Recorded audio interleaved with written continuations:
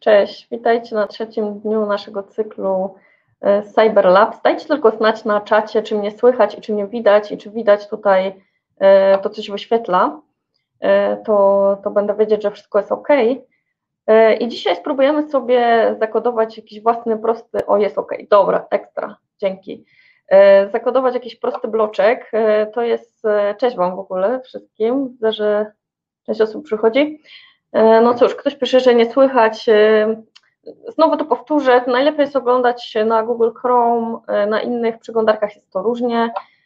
Czasem działa, czasem nie działa. Jest to live streaming, no może się zdarzyć jakaś tam sytuacja, że coś by było nie tak. Widzę, że Szym tutaj pyta, nie było mnie wczoraj, czy bez tego będę coś rozumiał. A nie wiem, czy będziesz coś rozumiał, bo tutaj wchodzimy na nowe i nieznane tereny jeszcze dotychczas dla, myślę, że większości osób siedzących w WordPressie, czy wchodzimy na pole tworzenia własnych bloków w, w JavaScriptie i React, więc ja dzisiaj wybrałam w zasadzie, no nie będzie to jakiś tam może gotowy tutorial, z którego, z którego można już zacząć tworzyć bloki wielkie, no bo godzina to jest bardzo mało czasu, E, ale stwierdziłam, że wybiorę jakieś takie naj, najbardziej podstawowe rzeczy z tych bloków, tak żebyśmy mogli zobaczyć ogólnie z czym się je takie tworzenie własnych bloków. E, moim zdaniem, tak jak zresztą wczoraj wspomniałam, jednak raczej należy się starać jak najwięcej tego kontentu tworzyć za pomocą wzorców. E, po co wymyślać koło na nowo, kodować te same tak naprawdę rzeczy customowo, które po prostu później trzeba ten kod utrzymywać E, moim zdaniem nie ma to za dużego sensu. Dopiero w momencie, gdy naprawdę już nie da się tego w inny sposób zbudować i potrzebujemy zbudować własny blog, e, to wtedy powinniśmy się za to zabrać. E, z tym, że no dzisiaj też jest możliwość jeszcze inna, nie tylko tworzenia tych bloków tak jakby zgodnie z dokumentacją WordPressa, ale mamy też ACF Blocks, które są, których próg wejścia w nie jest znacznie niższy, także moim zdaniem to jest dobre na pierwszy taki, pierwsze szlify jakieś z tym Gutenbergiem. E, natomiast no, prędzej czy później każdy będzie musiał się nauczyć tego Reacta i będzie musiał się nauczyć, jak sobie radzić właśnie z tym edytorem i blokowym, i, i tymi innymi ekranami, które za niedługo się pojawią w WordPressie, które już są, e, będą przerobione na, na ekrany React napisane, więc jakby no te, tego się nie uniknie. E, dlatego myślę, że dobrze będzie spojrzeć po prostu z czym, z czym to się je. Tak, nagrania tu widzę, pytacie, planujemy w przyszłym tygodniu wypuścić. E, okej, okay, dobra, to słuchajcie, jedyne co od razu zastrzegę, że no dzisiaj będzie totalny live coding, także zobaczymy jak to wyjdzie. Z mojego doświadczenia różnie, różnie to wygląda, e, jak na żywo się próbuje coś tam kodować. Dodatkowo jeszcze mm, takie narzędzie, z którego będziemy dzisiaj korzystać, wczoraj przestało to działać, coś tam z tym zepsuło.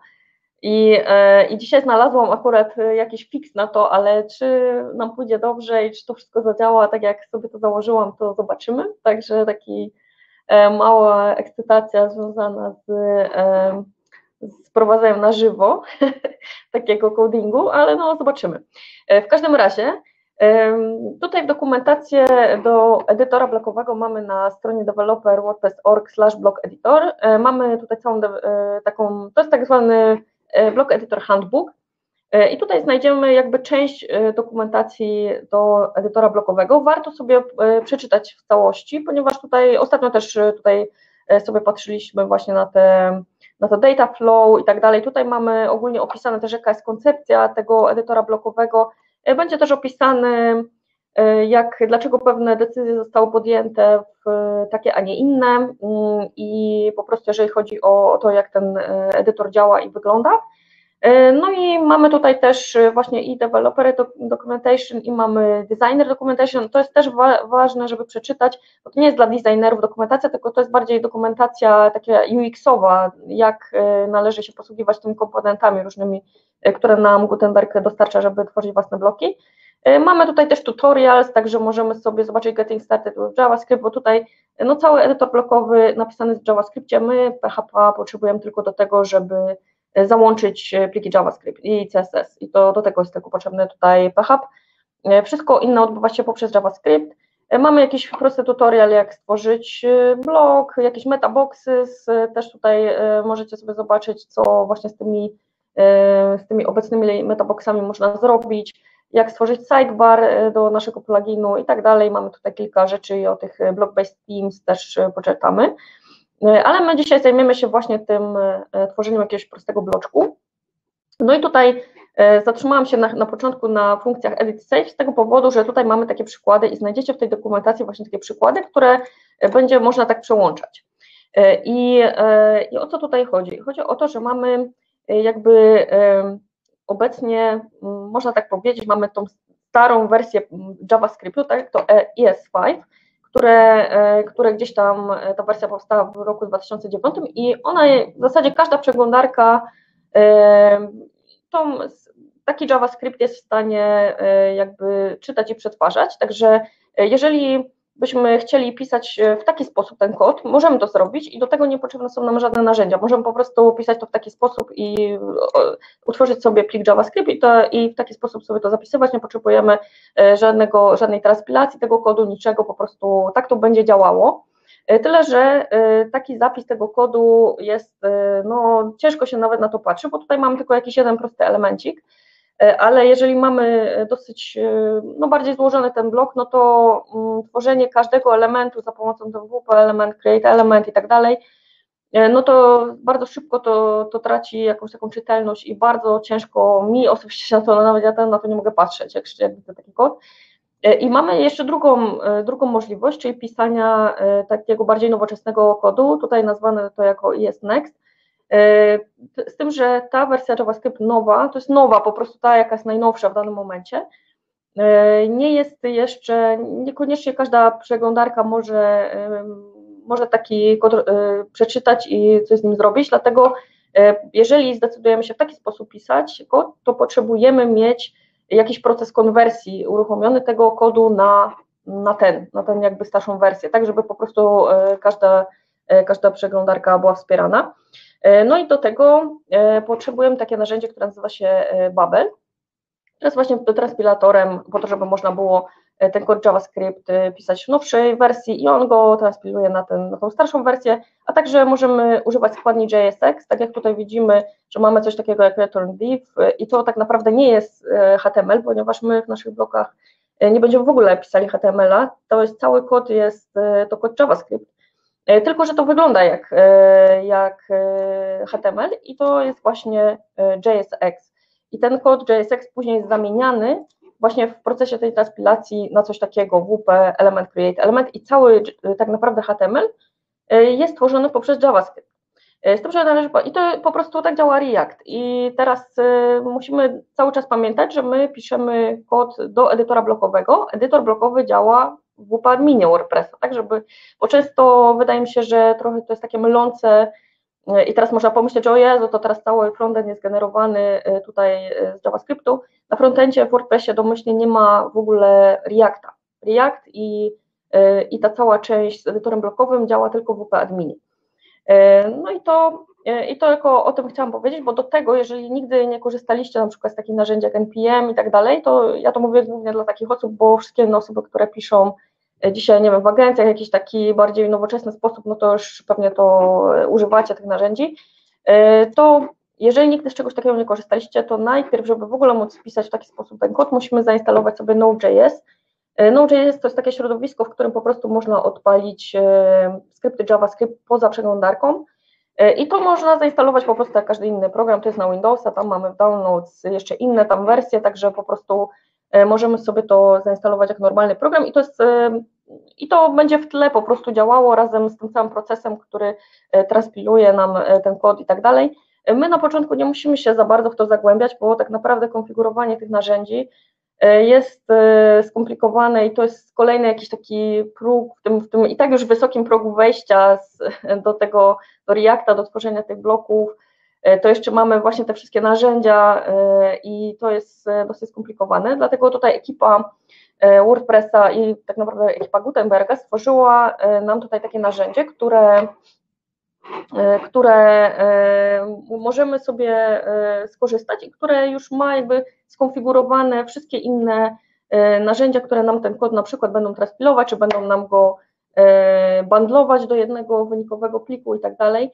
E, tutaj jest to po prostu przygotowany już taki, e, taki tak oni to mówią scaffolding, blok scaffolding, czyli taki jakby szkielet tego bloku, tego, tej wtyczki, tego bloku, który po prostu w bardzo prosty sposób możemy sobie uruchomić. No i tutaj do tego musimy mieć właśnie zainstalowany ten Node.js, no i potrzebujemy mieć jakiś terminal, jakąś konsolę, tak jak tutaj widzimy, czyli możemy po prostu, ja korzystam akurat z konsoli Git, ale możemy mieć jakąś inną konsolę, możemy mieć konsolę wbudowaną też w nasz edytor kodu, w zależności jakiej tam, z jakiej tam chcemy sobie skorzystać. I tutaj i tutaj właśnie mamy, mamy napisane dokładnie, mamy instrukcję, w jaki sposób możemy sobie taki bloczek zainstalować, przygotować taki plugin do, dla, naszego, dla naszego bloku. Więc musimy przejść sobie do ścieżki WP Content Plugins w naszym, w naszym WordPressie, do, na którym będziemy sobie testowali tą, tą wtyczkę i ją tworzyli. I po prostu wpisujemy tą komendę npm npx WordPress create block i teraz musimy nadać jakąś nazwę temu bloku, blokowi czy bloku, nie wiem jak to się odmienia. I dodatkowo jeszcze warto jest, moim zdaniem, dodać sobie tutaj taką opcję namespace, ponieważ ta opcja, każdy blok ma ten namespace. Ostatnio patrzyliśmy na te, jakie mamy bloki zarejestrowane na naszym WordPressie, no i wszystkie bloki takie natywne mają namespace core. Nie? I my, żeby sobie rozróżnić, że nasza wtyczka czy nasza nie wiem, agencja ma, jakąś, ma jakiś tam zawsze ten namespace dla bloku mm, po prostu, wtedy możemy nazwę dać jakąś generyczną i ona się nie pomyli i nie będzie jakichś konfliktów. Także ja sobie jeszcze lubię dodać właśnie ten namespace i poza tym on później dodaje też nam prefiksy różne do funkcji i tak dalej, także to jest dosyć spoko, więc tutaj po prostu musimy sobie wpisać ten npx WordPress create blog. No i teraz musimy sobie wpisać tą opcję, czyli namespace. Ja dam CyberFolks, bo jesteśmy w CyberFolks. Nie wiem, czy to widać, dlatego mówię Wam, co to wpisuję. No i jakąś nazwę tego pluginu, to ja go nazwę Labs na przykład, żeby ten, ta, ta moja wtyczka się tak nazywała. No i teraz po prostu musimy kliknąć Enter i to tam chwilę potrwa, zanim to się nam zainstaluje. Tutaj pojawił się taki problem, który zaraz zobaczymy, czy to, no wątpię, że to już zostało naprawione. Widać, dobra, no to spoko. Chwilę to trwa, tak z minutkę, ale znalazłam rozwiązanie tego, że po prostu je, był jakiś z jednym z tych dependencies, które tam on instaluje, jest jakiś problem, i po prostu trzeba to tam zrobić install ignore, coś takiego. Ja szczerze mówiąc, aż nie jestem za dobra w tych w, w instalowaniu tych pakietów z npm, a jeszcze muszę się myślę poduczyć trochę też o, o Node.js, pisaniu jakichś własnych skryptów na, na Node.js, bo po prostu widać, że to się, to się przyda, to jest potrzebne gdzieś tam. Mamy go, narzędzie, które jest gotowe i możemy z niego skorzystać, ale jednak warto byłoby e, też coś bardziej wiedzieć, e, jak sobie na przykład rozwiązać jakieś problemy, które się gdzieś tam mogą pojawić. E, no ale to właśnie jest kolejna rzecz, która nam dochodzi do tego, do tej listy rzeczy, których musimy się nauczyć, żeby opanować jakby w całości i dosyć dobrze tworzenie tych bloków i ogólnie no, posługiwanie się już tym nową, tym nową jakimiś tam rzeczami w tym WordPressie, tak, które są oparte o Reacta, to zupełnie coś innego. E, także no naprawdę e, próg wejścia jest bardzo duży, tutaj no nie ma co ukrywać. Tak mamy jakieś tam e, powiedzmy narzędzia, które nam w tym pomogą, ale, ale tak czy siak no trzeba sobie zaplanować jednak dużo czasu i na jakimś tam dłuższym terminie tą naukę, dlatego ja uważam, że warto się zacząć już teraz uczyć tego, zanim jeszcze to się stało jakieś tam super popularne, bo o, czekajcie, chyba poszło, Poszło, dobra, nie zwraca już tego, e, tego błędu, no to git, no to się wy, e, wygląda na to, że wszystko będzie ok. E, dobra, to tutaj mamy ten create block, no i tutaj mamy napisane, co następne, musimy przejść do tego naszego katalogu, tak, bo, sobie, bo nam tutaj utworzył, utworzył ten katalog Labs, tak, bo ja sobie nazwałam ten blok Labs, czyli muszę sobie przejść do Labs, no i teraz po prostu npm start. Odpala nam się tutaj ten proces cały i on będzie już działał w tle i już nas tutaj, jeżeli to będzie działało i nic się z tym nie będzie działo, to znaczy, że nas już to przestanie interesować. To musi po prostu działać w tle. I teraz, jak sobie spojrzymy do naszych pluginów, to dodał nam się katalog Labs i tutaj właśnie otworzył, utworzył nam się jakby taki ten scaffold tego bloku, czyli takie już wstępnie przygotowane pliki, które, które są gotowe i możemy je dalej rozwijać. No i teraz stworzyliśmy to jako, mm, to już mogę wyłączyć, stworzyliśmy to jako wtyczkę, więc ja tu mam dwa jeszcze backupowe wtyczki, dlatego takie tutaj to wygląda. Utworzyła nam się ta wtyczka Labs, tak, musimy ją włączyć, no bo, e, no bo po prostu e, tak to byśmy nie mieli tego wpisu. No i teraz zobaczmy sobie na naszym wpisie, to może aż wejdę sobie, otworzę nowy wpis e, i zobaczymy, czy ta wtyczka w ogóle się utworzyła, co, co się w ogóle utworzyło, jak to wygląda i tutaj sobie zrobię blog Labs. E, no i przede wszystkim najpierw może otworzę konsolę, zanim przejdziemy do insertera. E, w konsoli przede wszystkim możemy, praktycznie konsolę, jeżeli rozwijamy jakiś blok i, i, będziemy go dewelopować, musimy mieć konsolę praktycznie cały czas otwartą, ponieważ wszystkie błędy będą nam tutaj e, wyrzucane na konsolę, także warto cały czas ją trzymać otwartą. Tutaj możemy też sprawdzić, czy nasz blok jest zarejestrowany. Po prostu możemy sobie zobaczyć, jakie są wszystkie bloki w naszym WordPressie, tak, get block, get blocks, nie get blocks, tylko get block types y, z, z tutaj ze Stora Core Blocks. Y, I tutaj zobaczymy sobie wszystkie zarejestrowane na naszej stronie te korowe, tak, te z, z tym przedrostkiem core, z tym namespace'em, to są te bloki, które są w WordPressie po prostu zarejestrowane domyślnie. No i tu zobaczcie, zarejestrował się nasz blok, który Mm, nazywa się Cyberfolk, bo to był ten namespace, który ja tam wpisałam na samym początku przy tworzeniu tego, e, tego bloku, e, a także nazwa tego bloku jest Labs, czyli ja teraz mogę sobie stworzyć jakąś kolekcję swoich bloków, wszystkie będą miały name, namespace Cyberfolk slash i każdy blok pojedynczy będzie się jakoś tam nazywał, miał jakąś tam swoją nazwę. To generalnie na takiej zasadzie na takiej zasadzie działa. E, no i teraz w takim razie, skoro, jeżeli on się tu pojawił na tej liście, bo czasem jest tak, że mamy jakiś błąd, po prostu utworzyliśmy sobie jakiś blok, e, coś tam nie dopięliśmy, jakieś funkcji gdzieś i po prostu nie widzimy tego bloku, nie wiemy o co chodzi, to właśnie w taki sposób możemy sprawdzić, czy ten blok w ogóle jest zarejestrowany i jeżeli jest tutaj na tej liście, to znaczy, że wszystko jest ok. No i teraz możemy sobie go dodać z insertera. Jak tutaj wejdziemy w inserter, no to możemy go poszukać na tej liście, czy go tutaj znajdziemy i widzimy, że tu się pojawił nam lab z takim E, z taką buźką e, i, te, i ten blok możemy dodać. No i coś tutaj jest, labs hello from e, the editor, opublikuję sobie to i w tym momencie możemy sobie też podejrzeć na, jak to wygląda na frontendzie ten nasz bloczek. Dobra, to, to, to musimy go pozbyć już. No i tutaj hello labs from the saved content. No nie, tutaj mamy from the editor, tutaj mamy from saved content. E, I właśnie tutaj znowu e, dzisiaj będzie jeszcze bardziej to widoczna ta taka, no ja na to mówię taki dualizm tych bloków, że mamy z jednej strony to, co jest na backendzie w adminie, a z drugiej strony mamy to, co zapisuje się do bazy, co się później wyświetli na frontendzie.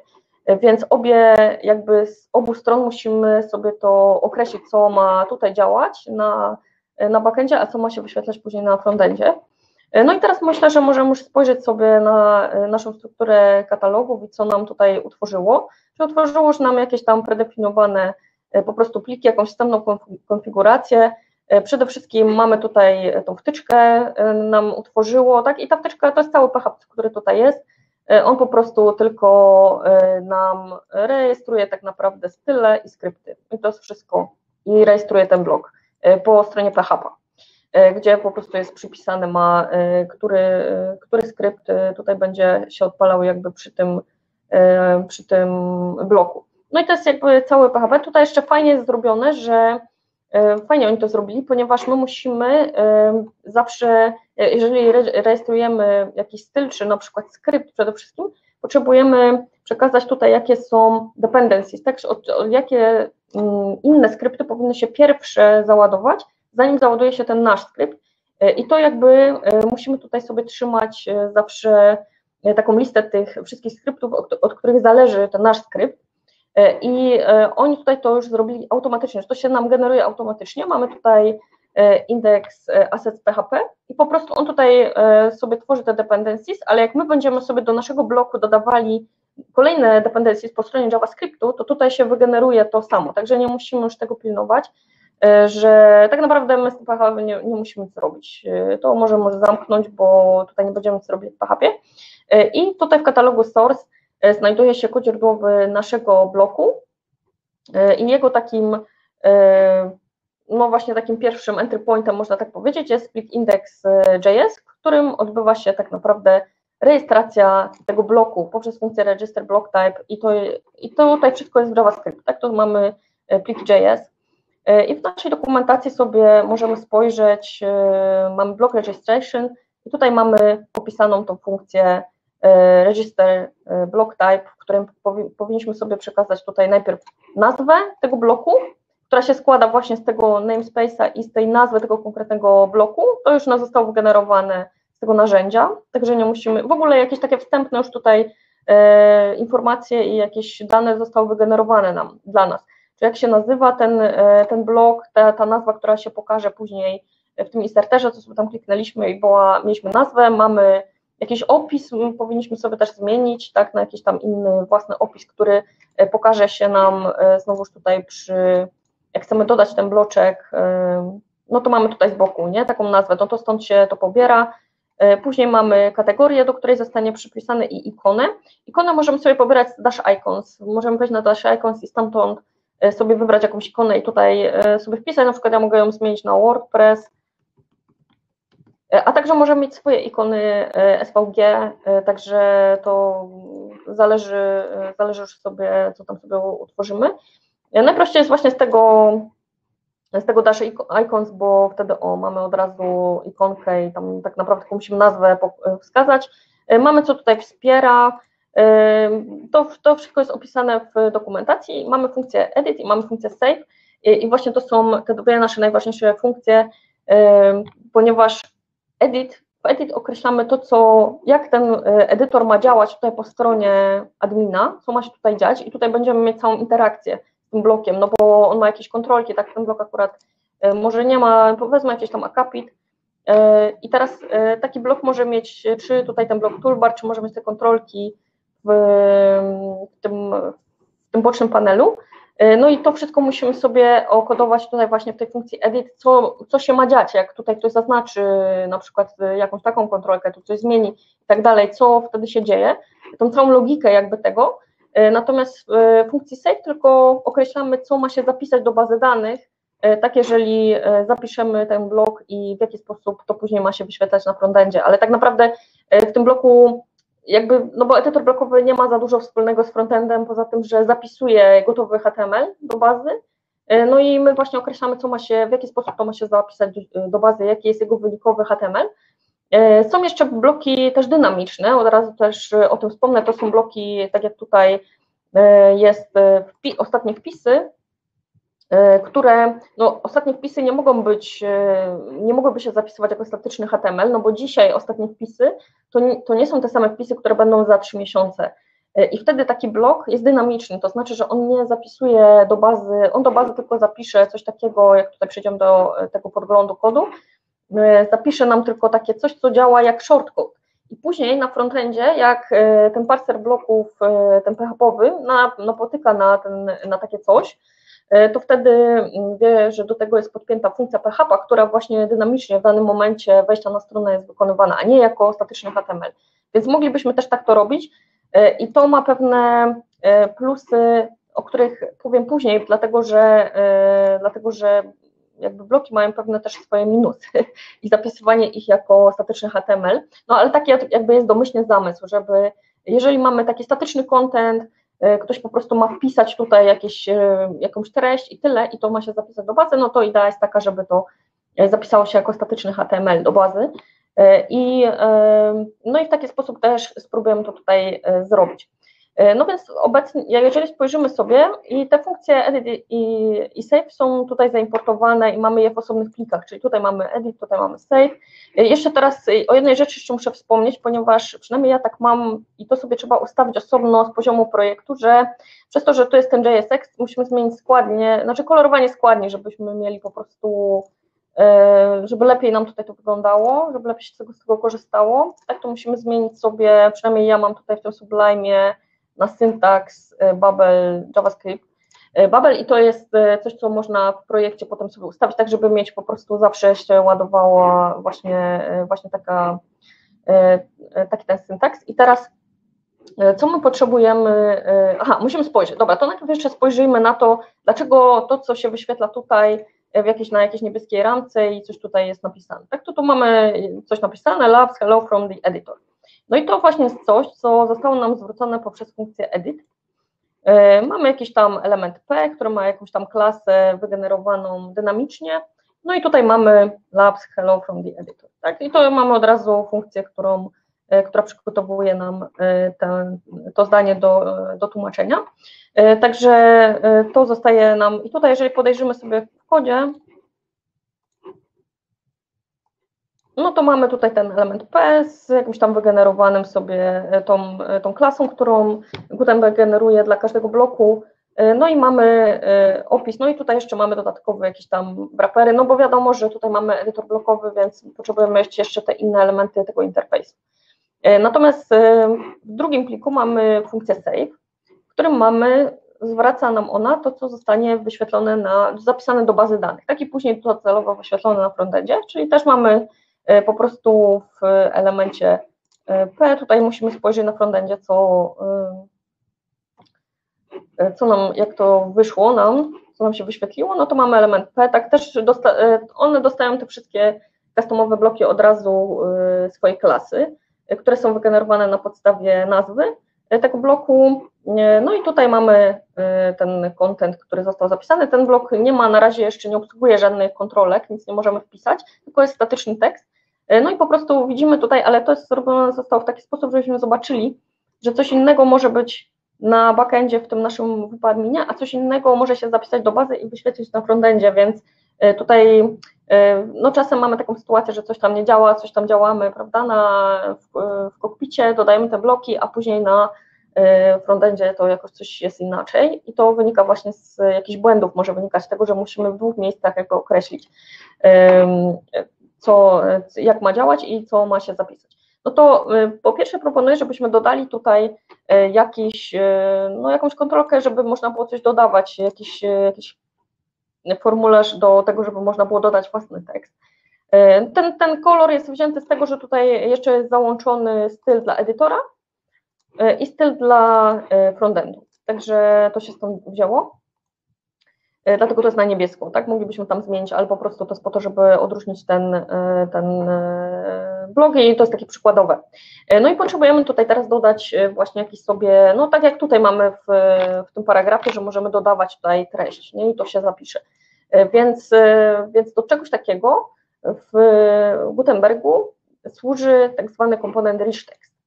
E, rich text jest takim komponentem, który wygląda po prostu na tutaj w tym adminie, tak jakbyśmy pisali na frontendzie, no bo jest taka idea tego Gutenberga, żeby, żeby tutaj nie wstawiać takich inputs, jak na przykład w ACF-ie mamy, że mamy po prostu taki formu, takie pole formularza chamskie, gdzie wpisujemy rzeczy, tylko jego idea tego Gutenberga jest taka, żeby po prostu na backendzie, tak jak sobie połączamy, żeby ten backend tutaj y, odzwierciedlał nam praktycznie jeden do jeden to, co się potem wyświetli na frontendzie.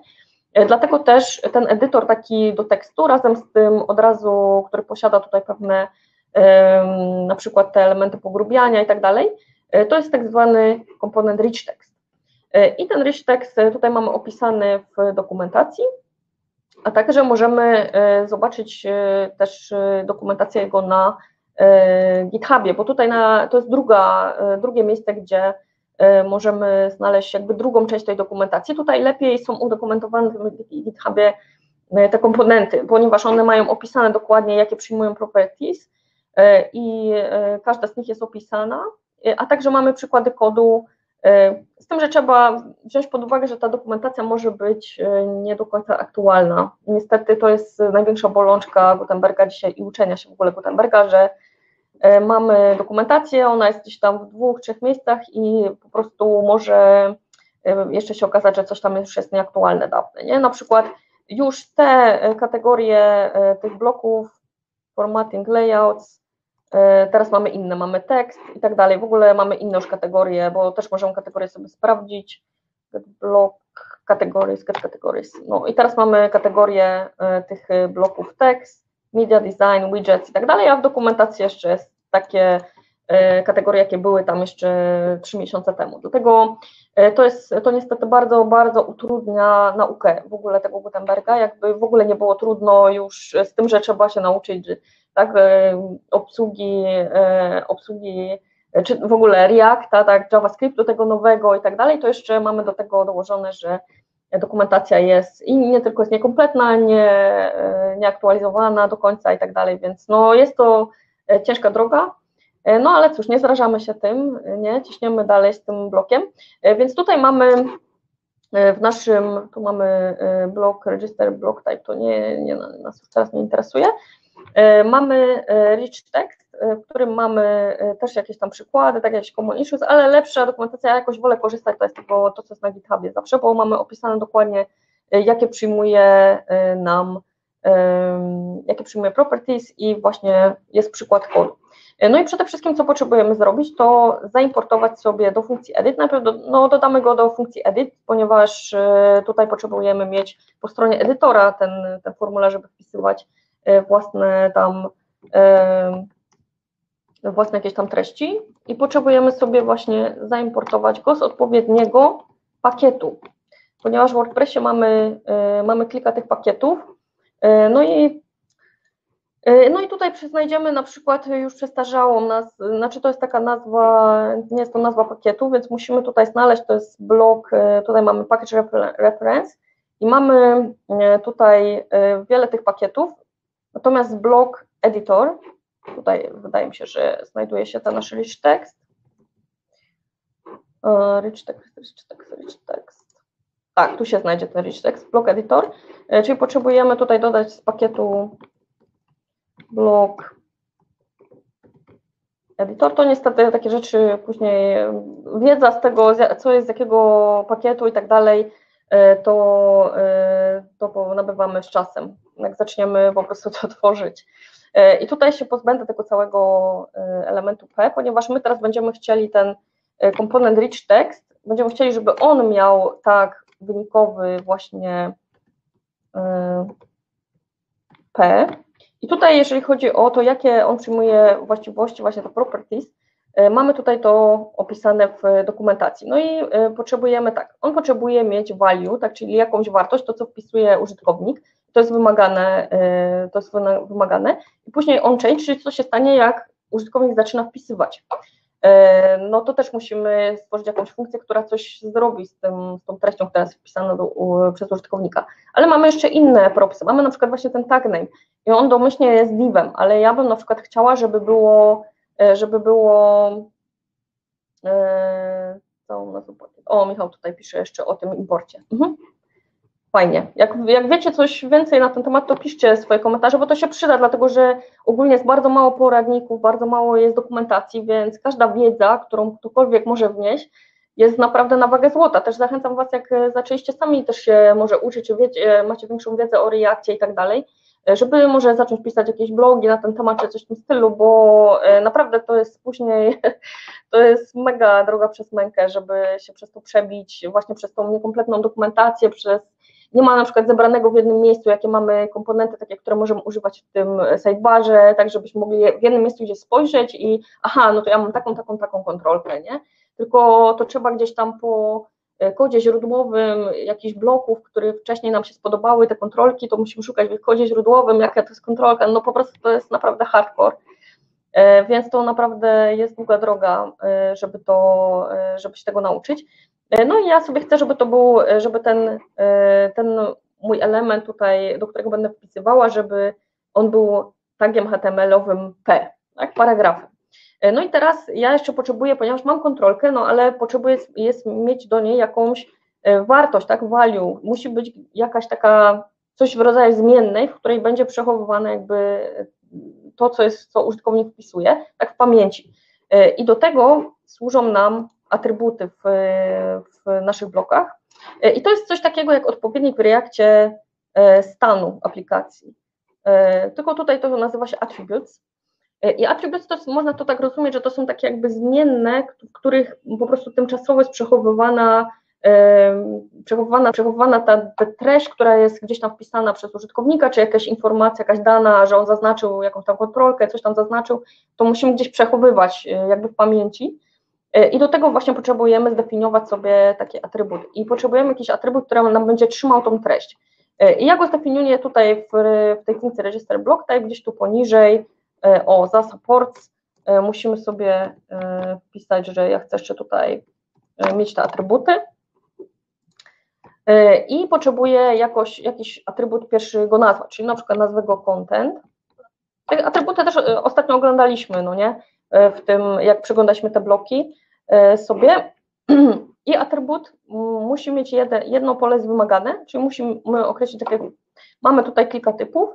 Dla mojego kontentu będę potrzebować stringa tutaj, więc musimy sobie tutaj wpisać, że to jest type string. I to jest w zasadzie wszystko, co my potrzebujemy tutaj do określić, że chcemy mieć taki atrybut content, którym będzie po prostu jakaś treść typu string przetrzymywana. Ja sobie to jeszcze muszę przenieść tutaj do naszej funkcji edit, bo w naszej funkcji edit musimy sobie wyciągnąć jeszcze, przekazać do niej te, atryb te atrybuty, no i musimy z niej jeszcze wyciągnąć to nasz, nasz content. I teraz możemy tutaj w tym rich text, jak mamy ten rich text, jak mamy, czego z niego wyszłam, tutaj mam, no mamy value, nie, to to, to value teraz to będzie właśnie ten content, ten atrybut nam tutaj trzymał. I do tego jeszcze potrzebujemy mieć funkcję onChange, czyli co się dzieje, jak użytkownik będzie tam wpisywał. No to zobaczmy, co by się mogło dziać, co ona w ogóle, ta funkcja nam zwróci. Zobaczymy sobie, co ona po prostu nam przekaże. No i co, mamy rich text, mamy ten content, nasz atrybut, tu powinno być wszystko ok, patrzymy jeszcze w konsoli, czy nic się nie dzieje. No i możemy teraz przejść i zobaczyć sobie, spróbować odświeżyć i zobaczyć, co się stało, czy coś się stało, czy działa. Konsolę najlepiej trzymać otwartą, bo ona od razu wywali nam błąd, jeżeli coś jest nie tak. Dobra, chyba nie zapisałam sobie wcześniej, więc muszę jeszcze raz dodać ten blok, nie widzę żadnych błędów i widzicie, od razu pojawia się migający i teraz mogę tak, już to sobie wpisywać coś do mojego bloku i od razu widzimy tutaj na dole konsolce, tak na każdy praktycznie, kiedy wpisywałam każdą literę, wywalało nam tutaj ta funkcja onChange się odpalała i nam wyrzucało tutaj na konsolę tą wartość jakby tego, co użytkownik wpisywał. No i to teraz my musimy zapisać sobie do tego atrybutu, tego bloku. No bo teraz jak sobie spojrzymy na nasze bloki, get blocks, to, to, są nasze bloki teraz, które są dodane na tej stronie, no i pierwszy mamy, teraz mamy tutaj jeszcze wyżej, o to jest jeszcze drugi nasz, tylko on się chowa teraz, no bo zmieniłam tam pewnie już klasy i tak dalej, już tego CSS już nie łapie.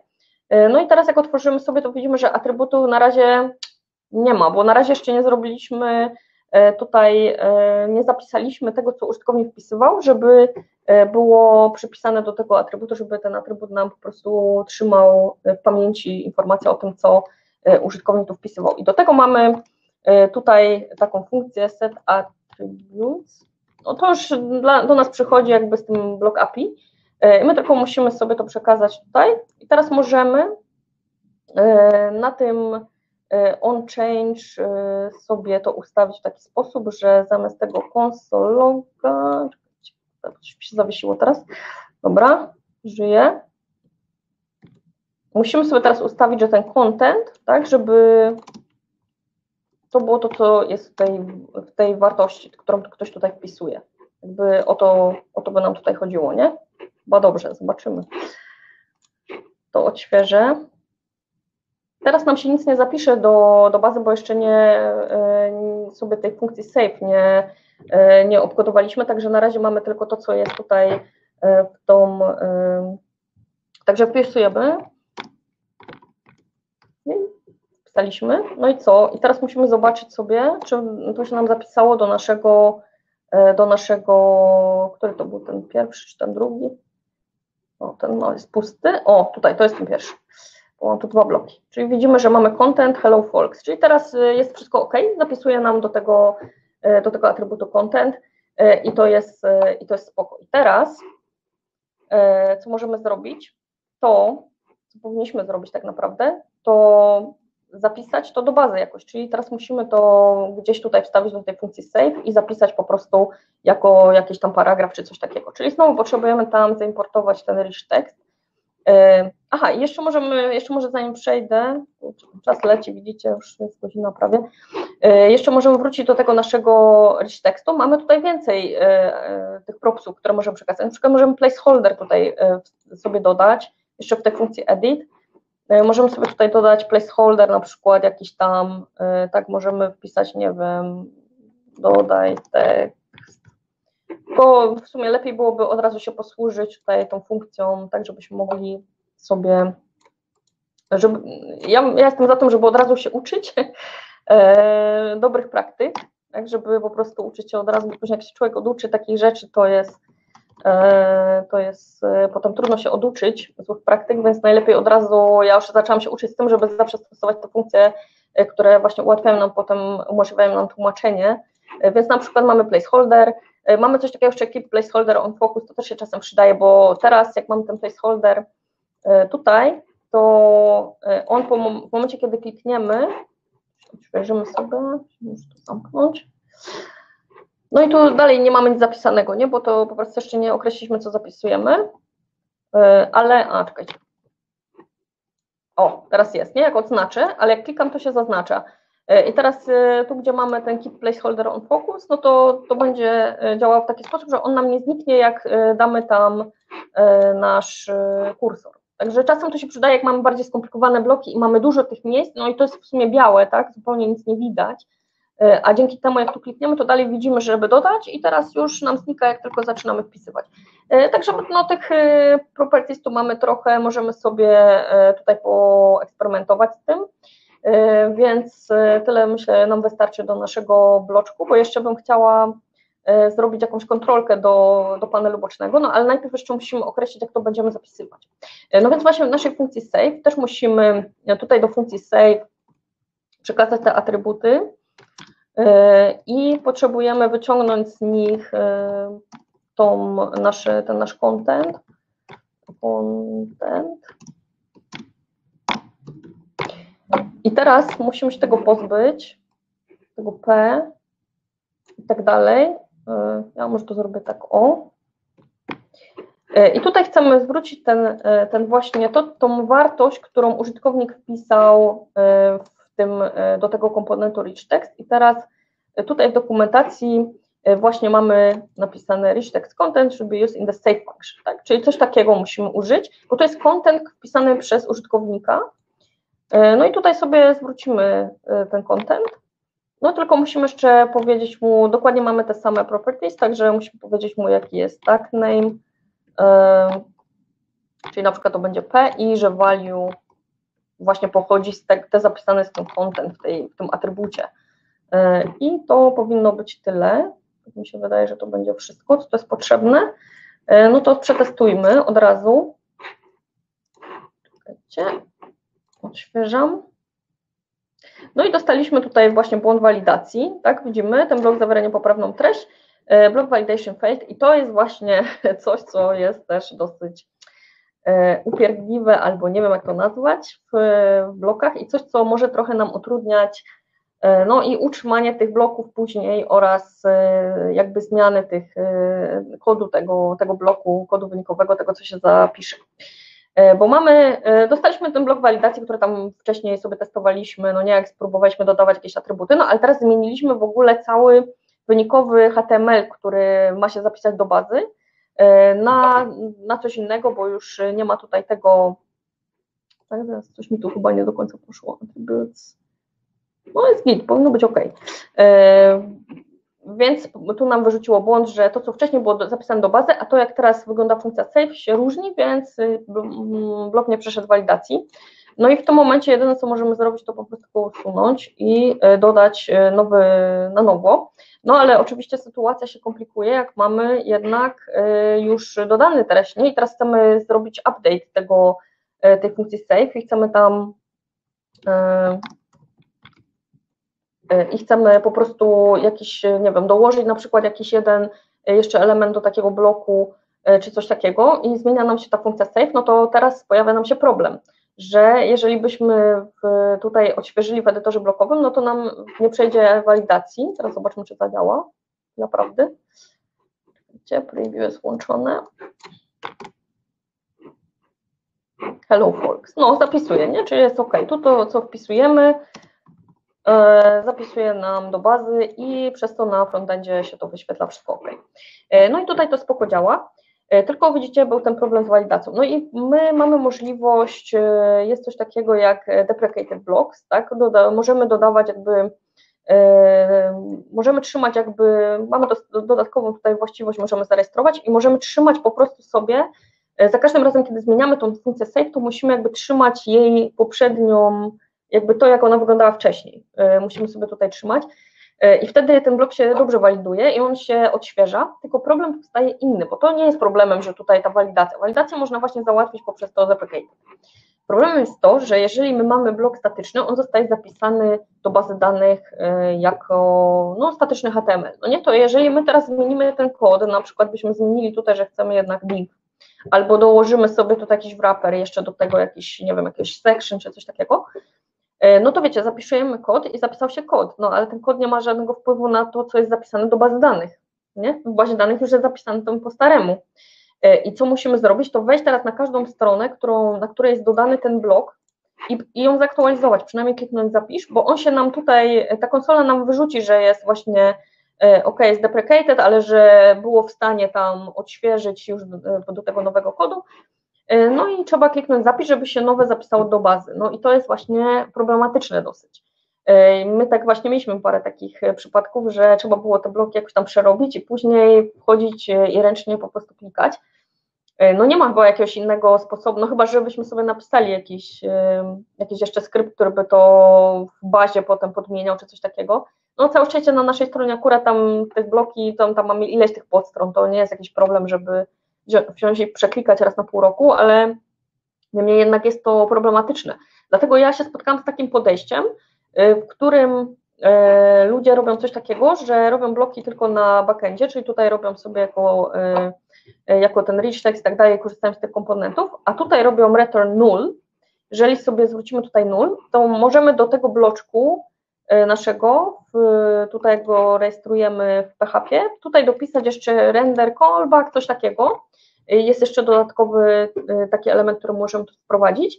I wtedy y, tworzymy funkcję PHP-ową, y, która będzie nam wyświetlała ten blok. Jakby, czyli ten blok będzie robił za coś takiego jak ten latest post, nie, że jest tylko tak jakby shortcode i później ten parsek bloków jak napotka na ten, na ten kawałek tego shortcode'u, takiego no, nowego shortcode'u, tak, tego komentarza HTML-a, w którym będzie, będzie po prostu informacja, że trzeba wykonać tą funkcję PHP-ową, żeby i, i ta funkcja PHP-owa powinna zwracać właśnie HTML, który ma po prostu się wyświetlić w danym miejscu. Czyli to działa tak jak shortcody tak naprawdę.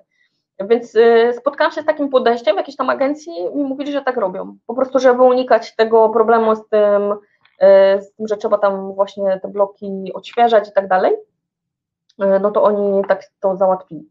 Więc może gdzieś tam, ja na przykład niektóre bloki już później też zaczęłam tak robić, bo to było za bardzo uciążliwe e, wchodzenie i zmienianie tego. E, tak jak, dlatego tak jak mówię, na przykład wczoraj jak e, robiliśmy te, te patterns, no to jednak ja bardziej byłabym za tym, żeby tworzyć na wzorcach niż, a bloki w ostateczności tylko jeżeli naprawdę nie da się tego zrobić w żaden inny sposób. E, no i co, zostało nam 10 minut, to, to już nie wiem, czy zdążę jeszcze tą kontrolkę dodać. Chciałam jeszcze dodać taką kontrolkę tutaj z boku w naszym panelu, e, która, którą byśmy coś tam zaznaczali, ale e, nie wiem, czy już nam starczy, raczej nie starczy nam już tutaj czasu. Natomiast chciałam Wam pokazać właśnie tutaj storybook. Na WordPress, GitHub.io, Gutenberg mamy tutaj, mamy tutaj jakby, to, to się nazywa storybook i tutaj mamy różne komponenty, ponieważ e, jeżeli sobie tutaj otworzymy pakiety, to ten Gutenberg jakby składa się z wielu pakietów, w których tych pakietach są właśnie pewne rzeczy zdefiniowane, na przykład są przygotowane gotowe komponenty dla nas do tego, żeby e, ich używać. Na przykład takie kontrolki, to trochę jest taka alternatywa no, dla ACF-a, ja bym to tak nazwała, ponieważ tak jak tutaj mamy sobie podejrzymy, jakie są możliwe kontrolki, no to już widzimy tutaj w naszym edytorze, że jeżeli mamy tutaj paragraf, no to mamy przede wszystkim takie taby, możemy tutaj sobie dodawać, możemy do nich dawać tak select, tak tutaj mamy, mamy tutaj jakiś number, tutaj tak samo, mamy toggle control, tutaj mamy te kolory, to są te kolory możemy pobierać też, z, przekazywać z tych ustawień początkowych, które sobie ustawimy w motywie, że to są nasze kolory brandowe. Możemy też wyłączyć to, żeby nie było tego innego koloru i tylko do wyboru, żeby były kolory z brandu. Tak, to toggle znowu, jakie tam jeszcze weźmiemy, obrazek. Mamy placeholder, placeholder to też jest komponent, tutaj te wszystkie batony, to też są osobne komponenty, z których możemy korzystać tak, jakiś tutaj obrazek wybiorę, żeby zobaczyć, e, co my tu mamy. Tu mamy na przykład takie typowe e, elementy formularzy, takich e, po prostu zwykłych, które są tutaj zrobione jako komponenty reaktowe, które możemy i komponenty tego Gutenberga, które my możemy po prostu wskazać, że chcemy sobie tutaj dodać na przykład tutaj mamy tek, tekstowe pole, właśnie select, jakiś, jakieś takie tego typu kontrolki, E, tak właśnie patrzę, jakie, jakie tutaj mają dużo ustawień, żebyśmy mogli sobie zobaczyć. Kolumny też mają na przykład, e, mają ten e, slider, tak? Także mamy tutaj trochę tych, tych kontrolek, no i je możemy tutaj podejrzeć właśnie w tym, w tym dziale komponent. To są takie ogólne komponenty, które w zasadzie służą do, są to różne takie komponenty interfejsu użytkownika, E, które zresztą wydaje mi się, że te komponenty akurat zostały, to są z pakietu Components. E, tutaj sobie wejdziemy, e, to mamy WordPress, WordPress, WordPress Components. Tutaj mamy je wszystkie opisane i wydaje mi się, że te komponenty akurat to są takie właśnie generyczne komponenty, które można tworzyć jakieś tam elementy interfejsu, nie tylko właśnie w, bo to, bo to nie są przecież elementy, które można używać tylko tutaj w edytorze blokowym, wszędzie innych ekranach WordPressa, które by były właśnie w React napisane, również można by używać tych komponentów. E, I te generyczne komponenty możemy sobie e, tutaj podejrzeć. E, I na przykład mamy do no, no, no, mamy tutaj niektóre już takie gotowe komponenty, na przykład Daytime Picker, tak, że my tylko sobie wpisujemy Daytime Picker, znajdujemy dokumentację jego, przeważnie właśnie tutaj wchodzimy sobie, szukamy packages components, no i tutaj znajdujemy sobie po prostu ten, który by nas interesował i też no, dużo czasu schodzi nam na to, żeby poznać, jakie w ogóle mamy do wyboru te komponenty. e, i po prostu e, zobaczenie, jak, jak się tego używa i tak dalej. Tutaj mamy opisaną dokumentację, tak mamy e, jakiś tam przykład, jakie propsy przyjmuje i tak dalej. I my tak naprawdę, ten daytime picker to jest tyle, tego tak naprawdę jest. I możemy to sobie wstawić i cały nam się taki picker daty i i czasu e, pokażę. Tak więc to jest e, dosyć proste do dodawania, tak samo jak było z tym rich textem. W zasadzie cały ten rich text dodaliśmy tutaj, to jest jedna linijka kodu, e, a on już tak naprawdę nam idzie z, tu jest to nasze, tak, z tym pogrubianie, to on już, to już jest zbudowane jakby w ten komponent, to wszystko tutaj działa nam out of the box. My tylko po prostu musimy wiedzieć, jakie mamy komponenty do wyboru, jakie one mają propsy, które mogą przyjąć oraz no, co możemy z tym zrobić, tak? co, w jakim kontekście można, można je wykorzystać. No i tutaj mamy sporo jakieś tam radio control, tak? to są takie typowe właśnie komponenty gdzieś tam interfejsu użytkownika, które one są gotowe, już wystarczy czy tekst control na zwykła kontrolka taka tekstowa, z tym, że właśnie tego typu inputy powinniśmy stosować tylko właśnie ewentualnie tutaj w tym bocznych panelach, a nie tutaj w tym głównym, w tym głównym kontencie, który z założenia właśnie ma być czymś, co, co odzwierciedla jakby ten frontend. No i tak mieliśmy, miałam jeszcze zrobić jakąś kontrolkę, ale już nie zdążę, więc może będzie trzeba zrobić jakieś kiedyś jeszcze jedną albo jakąś jeszcze kolejną serię takich webinarów. Więc to myślę, że musiała już na tym zakończyć na razie. Ja bym, ja, może macie jeszcze jakieś tutaj komentarze, ja sobie jeszcze przejrzę, dobra? Zanim skończymy, mamy jeszcze w sumie 5 minut. I może macie jakieś pytania czy komentarze. Ja bym raczej polecała Wam, jeżeli chcecie zacząć się tego uczyć, to żeby zacząć od nauki Reacta, ja trochę musiałam na, na, samym początku, przez to, że nam się trochę śpieszyło z tą stroną, no można było to rozmawiać godzinami, to fakt. E, mi się trochę po prostu mieliśmy takie jakieś tam deadline na tą stronę i tak dalej, więc ja musiałam szybko tak jakby nauczyć się podstaw tego Reacta i później szybko od razu wpaść w te e, w tego Gutenberga i to jest, e, no nie ukrywam, to bardzo, no jest to droga przez mękę, właśnie przez to, że nie ma dobrych materiałów takich do nauki, to jest pierwsza rzecz, nie ma się za bardzo kogo zapytać, jak zobaczycie na Stack Overflow, nawet jakieś pytania o Gutenberga często są bez odpowiedzi, czasem ktoś tam odpowiada po godzinach. No jest to naprawdę droga przez mękę, ale jakoś ja się nie poddaję, bo ja sobie założyłam, że po prostu, no, zresztą w tym się fajnie, bo widzicie, jakie to jest fajne, nie? To jest zupełnie coś innego i w ogóle coś super w tym, z czym ja się wcześniej nie spotkałam, no to też jednym ze sposobem jakby nauki, to jest podglądanie kodu źródłowego jakichś innych, czy, czy właśnie jak to jest zrobione w Gutenbergu, ale też jakichś innych wtyczkach, które już tam e, dodają jakieś nowe bloki, czy rozszerzają obecne bloki, no więc po prostu ja sobie szukam jakiegoś tam kodu źródłowego i podpatruję. I co jest super, na co mi się zwróciło uwagę, to jest to, że my patrzymy w kod jakiejkolwiek wtyczki do robienia, która dodaje nowe bloki, czy cokolwiek i ten kod zawsze jest taki sam, jakby to jest, jest jeden standard i oglądamy ten kod i to jest tak, jakby to był nasz kod w przeciwieństwie do tego, jak mamy w WordPressie, jakbyśmy weszli do, e, jakbyśmy doszli, weszli w jakąkolwiek, otwarli wtyczki, 10 przypadkowych wtyczek, e, otwarli, otwarlibyśmy kod źródłowy PHP, to by tam w każdym było coś innego, byłyby inne jakieś tam podejścia i tak dalej.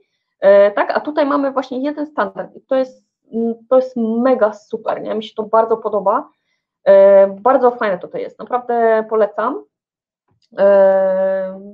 I e, patrzę sobie. O, Michał pyta, czy za pomocą WordPress Create Block można w jednym pluginie stworzyć wiele bloków. Tak, można. Ja właśnie tak sobie stworzyłam. Wtedy musisz sobie rozbić na, e, na te, e, na katalogi, musisz sobie trochę poprzerabiać. Czyli tutaj w tym source, już tu dalej to pokazuję. O, dobra.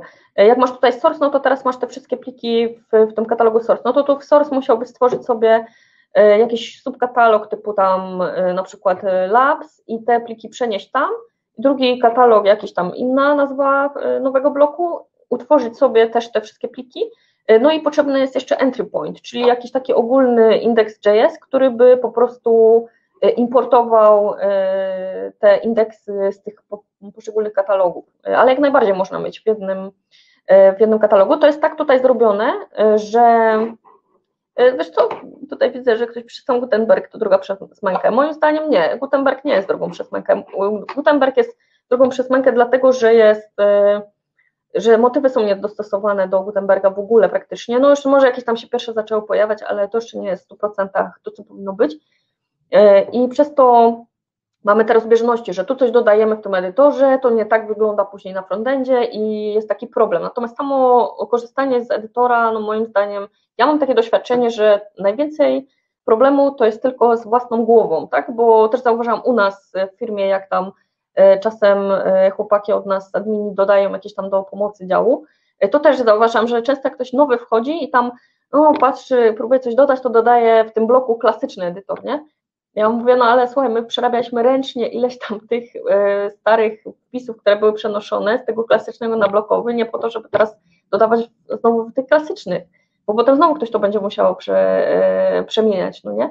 No weź tutaj, dodaj to w blokach, tak to masz paragraf, jakieś zdjęcia, to są jakieś podstawowe rzeczy e, i pięć minut później już jakoś można dodawać bez problemu. Ja mam takie doświadczenie, każdej osoby, której gdzieś tam pokazywałam, to było przeważnie maks 15 minut, jak ta osoba umiała z tego korzystać. Więc e, wydaje mi się, że bardziej to jest w głowie, że ludzie mają w głowie już zakodowane, że o Jezu, nie, Gutenberg, a prawda jest taka, że to nie jest aż takie złe, jakby, e, jakby na to powiedzmy mu wskazywało to, co twierdzą osoby, które są sceptyczne do Gutenberga. Po prostu jak ze wszystkim trzeba się e, no, nauczyć nowego sposobu myślenia o tym, nowego sposobu używania, bo to nie jest, e, to nie jest jakby to samo, co był wcześniej klasyczny edytor, tylko trochę inaczej. To jest zupełnie coś innego, to jest nowa aplikacja, zupełnie jest inne jakby podejście tutaj.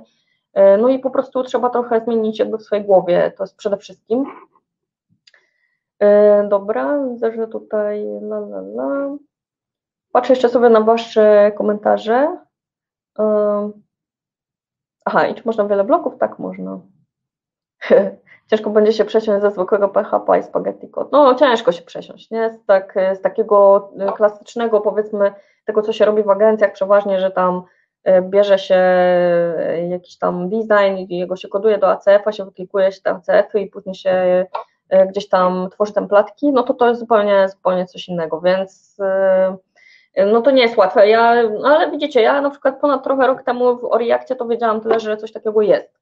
E, to była cała moja wiedza. No i po prostu no, robienie czegoś codziennie, uczenie się nowego, robienie projektów yy, i tak dalej, przeglądanie tego kodu źródłowego innych ludzi, którzy lepiej to ogarniają, już tam napisali jakieś swoje wtyczki.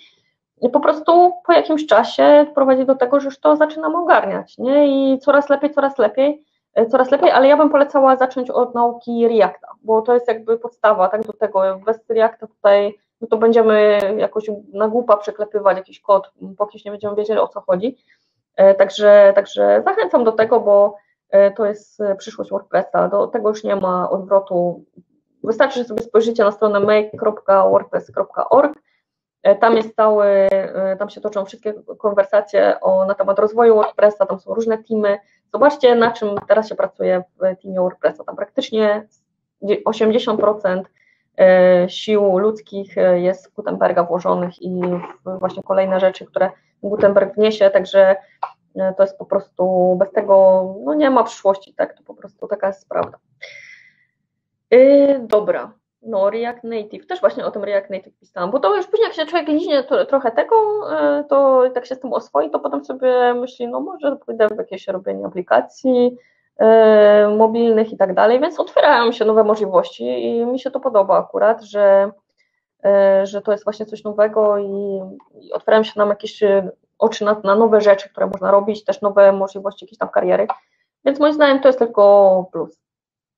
To jest tylko plus. E, dobra, to słuchajcie, nie będę już myślę przedłużać w takim razie. Dzięki wielkie, ja sobie przeczytam wszystkie komentarze później, bo mogę sobie wyeksportować. E, to był już ostatni dzień naszego, naszego trzydniowego cyklu. Zobaczymy, czy jeszcze kiedyś będą takie trzydniowe cykle. Na razie chciałam zrobić taki eksperyment. Dajcie znać, czy w ogóle to było, czy to nie było za dużo jakby.